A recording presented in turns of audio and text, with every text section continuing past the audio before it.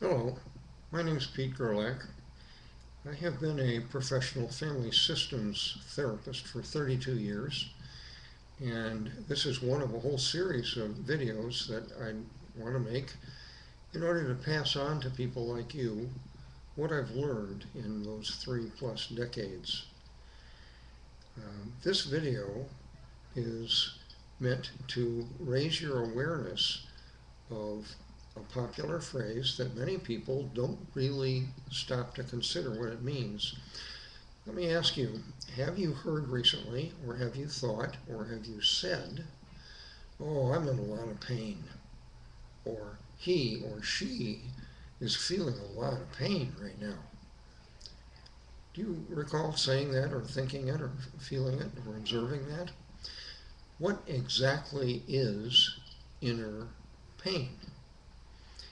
Uh, see how you feel about this proposal.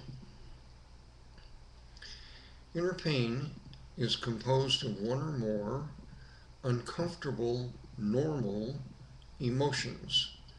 Emotions, as you know, are feelings that our mind, body, spirit generates in response to the environment. We can't help them, help having them, we can use them. Well, what kind of feelings constitute, quote, inner pain? Probably one of the biggest is shame. Shame, in my opinion, is the feeling that I'm no good, I'm stupid, I'm ugly, I'm dumb, I'm inept, I'm clumsy. No one want to love me. No one likes me. I'm bad. That's shame, also known as low self-esteem. You ever felt that? You know people who struggle with that feeling? It's epidemic in our culture. A related painful feeling is guilt. Guilt is the normal feeling that people feel automatically when they conclude they have broken a rule, they've done something wrong. Okay? Our lives are full of inherited rules. Don't, shouldn't, can't, must not, ought not, should, must, etc. Anytime we break a rule, depending on how important the rule is to us and other people, we feel the normal response of guilt. Guilt and shame often feel the same, but they're different. They have different sources and can be reduced differently. A third common feeling, think when the last time you felt this one, is disappointment. Oh, I was so hoping that something would happen or not happen, but it did or didn't. Disappointment feels bad, doesn't it? Another universal feeling that healthy people have is sadness. Can be mild to massive. Many people confuse sadness, excessive sadness, with depression. Often, in my experience as a therapist, Chronic depression is really unfinished grief. How about this as another unpleasant feeling that can constitute inner pain? The feeling of mental confusion or uncertainty or doubt, including self-doubt and even disorientation. Those are feelings that happen when you don't know where you are, you don't know who you are, you don't know what your life is about, you don't know where you're going, things don't make sense right now. Everything is chaotic and strange. That feels pretty lousy, doesn't it? That, if prolonged, can add to or increase inner pain. A big one, think of the last time you had this one, is on a spectrum usually, anxiety to fear to terror. Those are three levels of the same emotion. Very primitive, very useful for guarding our own survival. That's the purpose of fear. Fear is useful. All your feelings are useful. So that can be part of inner pain. So anxiety, fear, dread, or terror. How about the feeling of despair? Have you ever felt that? Have you ever felt you faced some major problem and felt there's I have no hope. there's no way I can escape or avoid future pain or disaster or cataclysm or something, crisis. I can't escape. I have no hope. How about the feeling of, that some people call emptiness? Emptiness occurs when people have no sense of life purpose. They wake up in the morning and they say, What am I going to do? What does it matter? I don't know. I'm, I do not know where I'm going. I don't know what to do. I'm not here on earth to do anything special. I'm just blah. Would you categorize that as an unpleasant feeling that can be part of inner pain? How about the terrible feeling of loneliness? Feeling like I'm all alone, I'm isolated, I'm alienated, I'm, I'm not, I have no bonds, I have no connections. There's no one who knows me or cares about me. I don't care about anybody else. I'm all alone. I'm abandoned. I'm an orphan. Another painful emotion that can be part of inner pain is regret. Can you remember thinking recently, ah, if only I had blah, blah, blah? Thinking back on actions you didn't take or you wish you hadn't taken can be painful, especially if you keep rehearsing that in your mind over and over and over again, which is called uh, compulsion uh, or obsession, rather. Another one uh, that brings great pain to most socially attached people is rejection. I want to be your friend. You want nothing to do with me. You tell me, get lost, get out of my life. I'm not interested in you. I don't care about you. Don't bother me. You know what that feels like? Especially to children. Major pain. Major pain. Hurt. The last pain that I want to quickly insert here is the normal human response of frustration. Frustration, as you probably know, is the normal automatic response that we people have when we have an important need, needs or discomforts. We feel frustration when we cannot find a way to fill a current important need. I need to get rid of the toothache, but I can't get to the dentist for seven days. Ah! Frustration. So, my point here is this.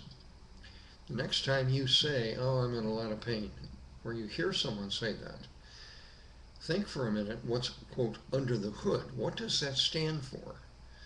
One or more of these normal, automatic human feelings shame, guilt, disappointment, sadness or grief, depression, confusion, uncertainty, disorientation, anxiety, fear or terror, despair, emptiness, loneliness, regret, rejection, and or frustration.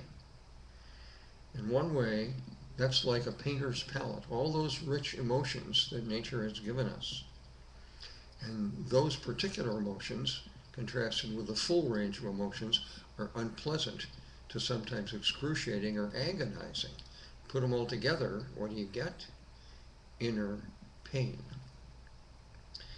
Many of these are particularly common among people who are survivors of childhood abuse, abandonment, and neglect.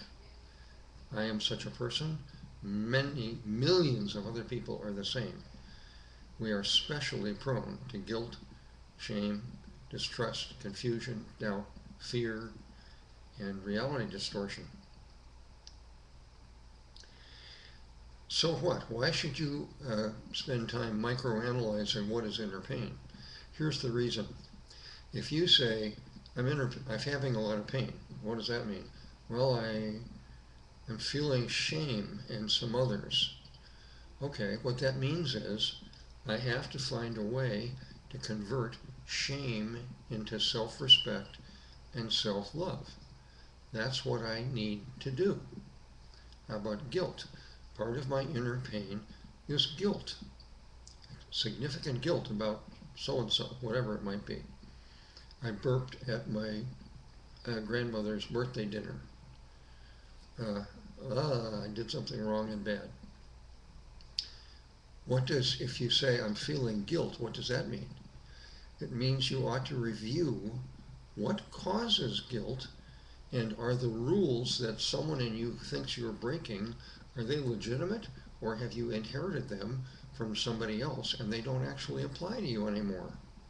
Find out what you're feeling guilty about. One last example.